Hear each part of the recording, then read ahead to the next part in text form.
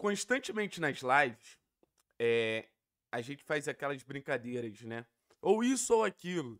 Você prefere, pô, ser campeão do mundo ou, pô, você meter 12 a 0 no Curitiba? Sei lá, esse tipo de coisa, sabe? E, e assim, se o torcedor do Atlético hoje viesse me perguntar ah, você prefere perder o Fernandinho duas semanas por lesão ou você prefere, sei lá, outra notícia muito, muito, muito ruim?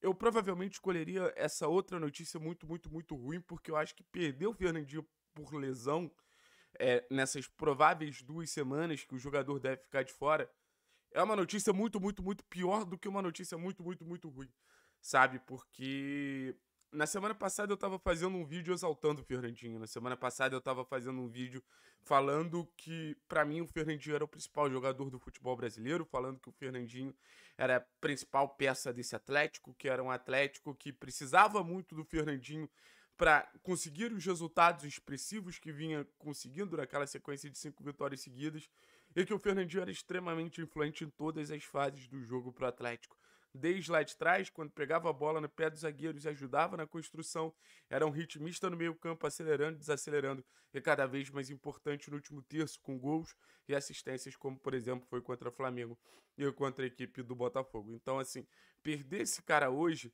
é para um time do Atlético, que já não é um time que fica tanto com a bola, que já não é um time que tem tanta proposição de jogo, é você perder o seu cérebro, é perder o cara que é o porto seguro da equipe do Atlético. Eu defino o Fernandinho como porto seguro do time do Atlético. A coisa apertou, bola no Fernandinho. O Atlético tomou um gol, bola no Fernandinho. É, o Atlético tá ali numa situação que ele tá vendo que ele tá confortável no jogo, bola no Fernandinho. E você não ter esse cara vai abrir uma lacuna muito grande que dá para chamar de tragédia.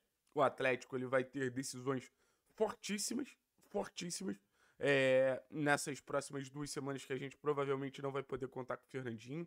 A gente tem um jogo contra o Atlético Mineiro, que é um confronto que a gente pode ver nosso principal concorrente no grupo se aproximando e até ameaçando a, a nossa primeira colocação no grupo, que é algo que o Atlético precisa buscar, é uma grande prioridade nesse primeiro semestre do futebol do Atlético. Então, esse jogo contra o Atlético Mineiro é muito importante. É, você tem um confronto direto contra o Botafogo também, pensando em se classificar para as quartas de final da Copa do, do, do é, quartas de final? Quartas de final da Copa do Brasil. Tava, tava pensando aqui, matutando qual era a fase. Novamente o Atlético entre os oito melhores times da competição. E para isso é, é, é, um empate, mas sem o Fernandinho a situação ela realmente fica mais difícil. E no Campeonato Brasileiro você tem um confronto difícil contra Grêmio, depois, se eu não me engano, é América Mineiro e depois Botafogo. Então, assim, são vários jogos que o Atlético pode despencar na tabela do campeonato. E por que essa previsão tão pessimista sem o Fernandinho? Exatamente por isso. Pela influência que ele tem e, e por saber que o Atlético, ele hoje é, vê o seu setor de meio campo sendo seu principal setor.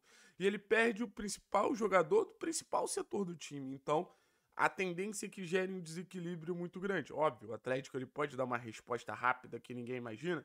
Pode, mas a tendência é um desequilíbrio muito grande. E eu fico pensando, né? Beleza, a gente perde o Fernandinho, péssimo, triste, horrorosa notícia, mas sem pensar para frente, né? Como pode ser é, a vida do Atlético sem o Fernandinho. E o Atlético ele vinha se encontrando com o meio-campo com três peças, né?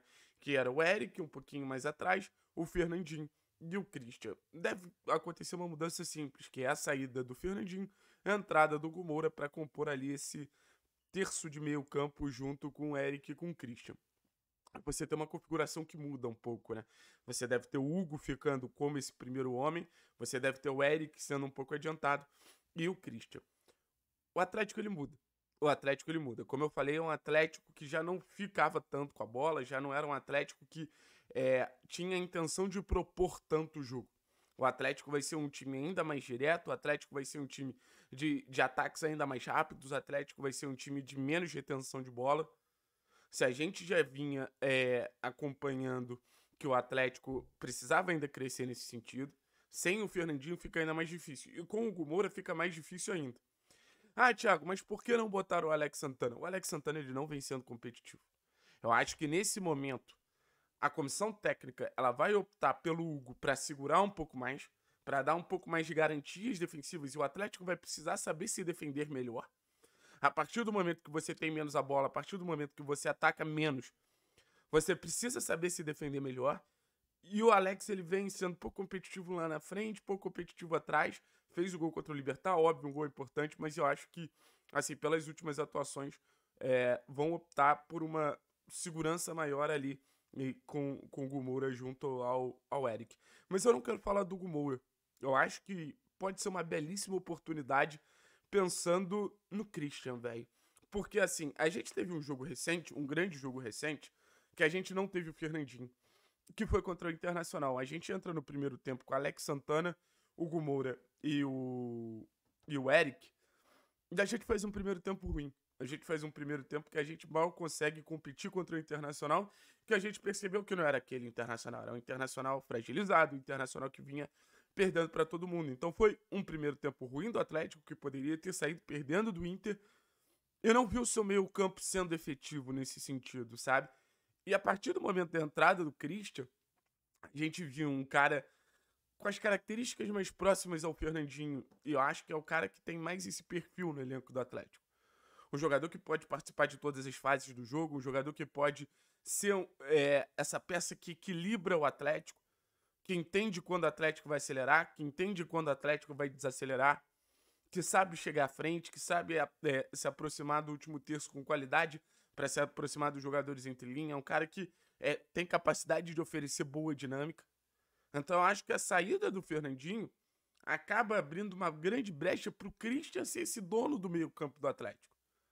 E fica a pergunta: será que ele vai conseguir assumir essa responsabilidade? Acho que vem até de uma sequência boa.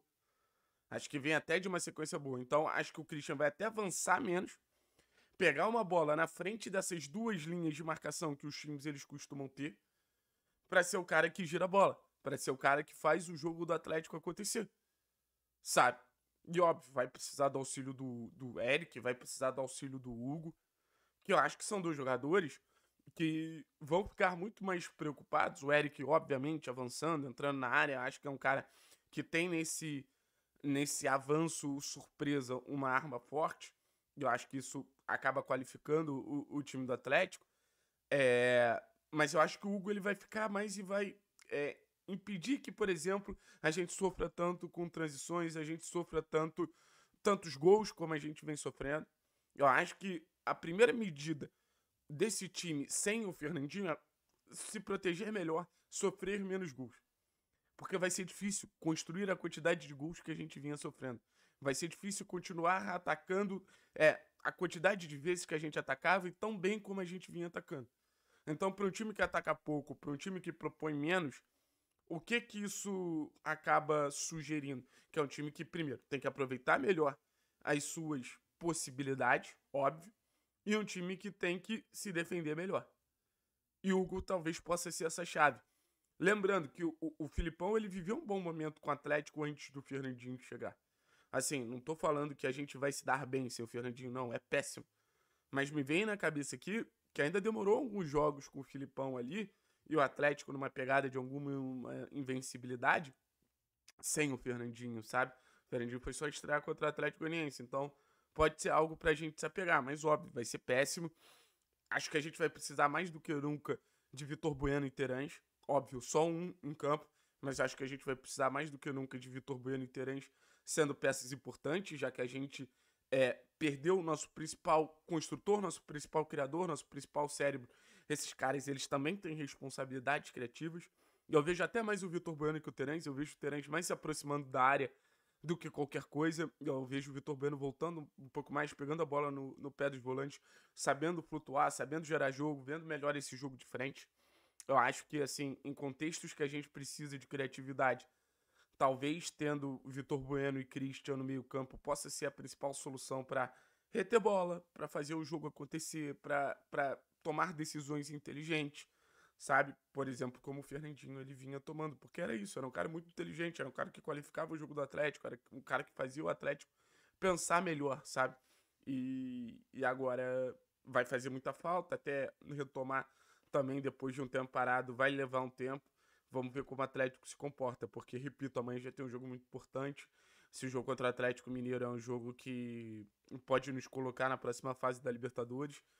E, e, a gente vai precisar competir muito. Competir sem o Fernandinho fica muito mais difícil. É um cara que nos aproxima do gol, é um cara que conhece os caminhos para tirar o Atlético lá de trás, mas é isso, são os desafios da temporada. Normal um time sofrer com lesão, normal um time ter uma grande perda. E, e de alguma forma o Fernandinho é essa grande perda, né? Triste, notícia bem triste, mas repito, confio na possibilidade de crescimento do Christian, confio em Vitor Bueno em Terãs, confio em Eric. Acho que o Atlético continua tendo peças muito interessantes no meio campo para sobreviver essas duas semanas. Vai ser difícil, mas acho que dá.